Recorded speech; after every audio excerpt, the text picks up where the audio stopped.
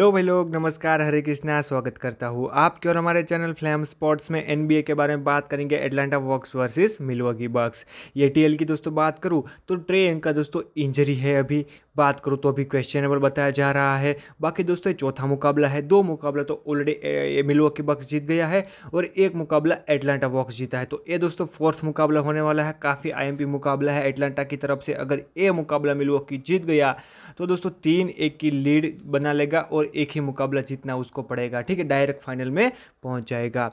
तो यहाँ पे स्टार्टिंग लेफ़्ट से स्टार्ट करते हैं। ट्रेन को दोस्तों अभी क्वेश्चनेबल है। उसके बाद दोस्तों भोगतन हटर दोनों स्टार्ट करेंगे। साथ ही साथ कॉलिंस होने वाला है और दोस्तों क्लिन कपिला होने वाला। कॉलिंस के साथ दोस्तों लास्ट गेम में क्या हुआ था? डेली गलिनरी को इतना ज़्यादा टाइम क्यों मिला था? इसी वीडियो में बात करने वाले हैं। मिलोकी बक्स की बात करूँ जू हॉलीडे मिडल्टन यानी सेंटेटुकुम्बो ब्रूक लोपेज और पीजे टक्कर जैसे खिलाड़ी स्टार्ट करने वाले हैं। फ्रेंड्स, यहाँ पे लास्ट गेम देख सकते हो एटलांटा वॉक्स का। उनचालीस मिनट खेला था ट्रेयंग थर्टी फाइव पॉइंट और दोस्तों, सिर्फ़ और सिर्फ़ फोर आसिस्ट स्कोर कर पाया था, वरना दोस्तों डबल पॉइंट स्कोरिंग करता है आसिस्ट में, ठीक है? उसके बाद दोस्तों, यहाँ पे बात करेंगे केविन हटर के बारे में 37 मिनट ने 11.4 रिबाउंड सात आसिस्ट तीन ब्लॉक किया था। बोगदानोविच की बात करूँ दोस्तों फ्लॉप फिर से फ्लॉप हुआ था यार बोगदानोविच तीन स्टील और एक ब्लॉक काफ़ी अच्छा है, लेकिन ऑफेंसिवली बिल्कुल डाउन ठीक है? क्लिंट कपेला दोस्तों भी दोस्तों देख सकते हो, ये भी कुछ खास परफॉर्मेंस नहीं है। जॉन कॉलिंस का दोस्तों फाउल ट्रबल था।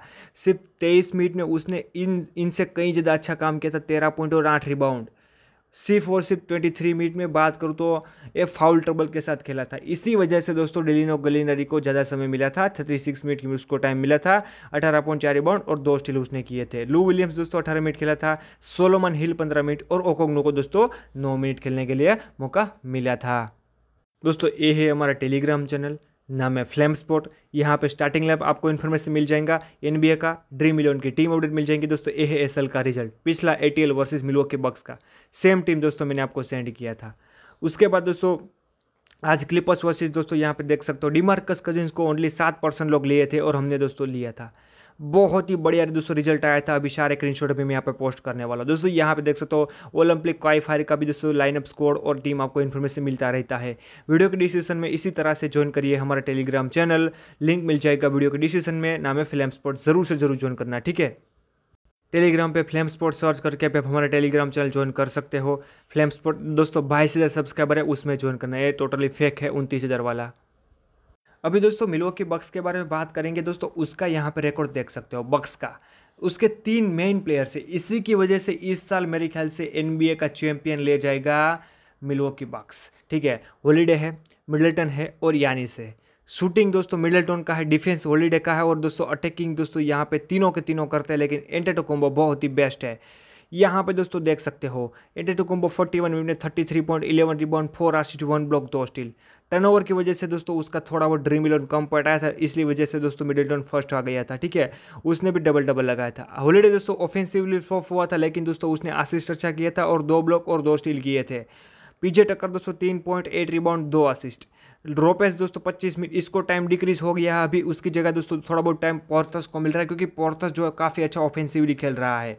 पेट कनिंगटन को दोस्तों थर्टी टू मिनट मिल रहा है, बाकी फोप्स जैसे खिलाड़ी को पाँच सात दस मिनट खेलने के लिए मौका मिल रहा है। बहुत ही बेस्ट दोस्तों शूटिंग गार्ड में अभी नंबर वन पे है फोप्स यहाँ पे थ्री पॉइंट परसेंटेज में, ठीक है?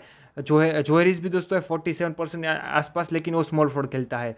फोप्स की दोस्तों बात करूँ, पैंतालीस परसेंट यानी कि फोर्टी फाइव परसेंट के आसपास थ्री पॉइंट शूटिंग कर रहा है। अभी ड्रीम इलेवन टीम के बारे में दोस्तों बात करेंगे।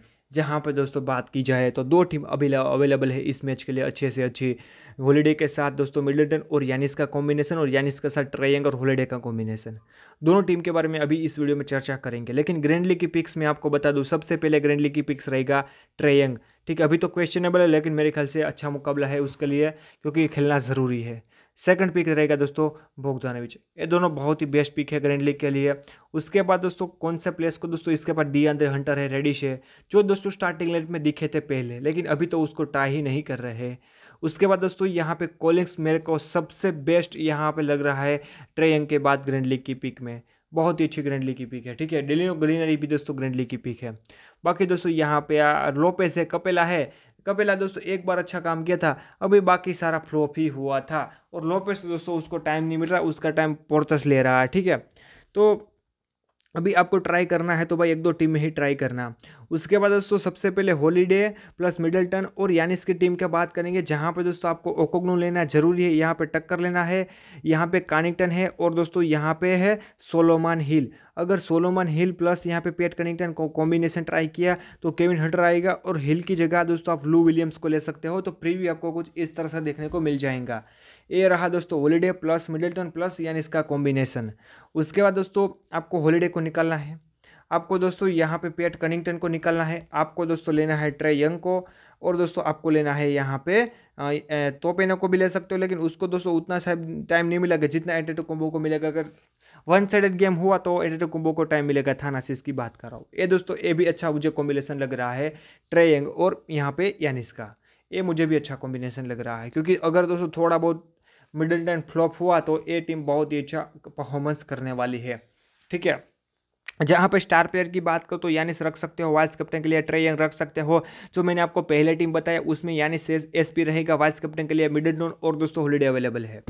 दोस्तों, एक और आपको ग्रैंडली की टीम बनानी है, जिसमें दोस्तों यानिस को आपको नहीं रखना है, बाकी सारे प्लेयर्स कवर करने हैं। याद रखना जॉन कोलिंग्स हो गया बोगतानविच हो गया और ट्रे यंग हो गया। और दोस्तों कपिला जैसे खिलाड़ी ग्रैंडली के लिए बहुत ही अच्छी पिक है, जो आपको ध्यान में रखना चाहिए। ठीक है तो बाकी तो दोस्तों, इसमें कुछ खास अपडेट होने वाला नहीं है। बाकी आगे अपडेट टेलीग्राम चैनल पे मिलेगा ज्वाइन कर लेना नाम है फ्लैम स्पॉट तो बस यार शुरू में इतना ही। Bye friends Hare Krishna take care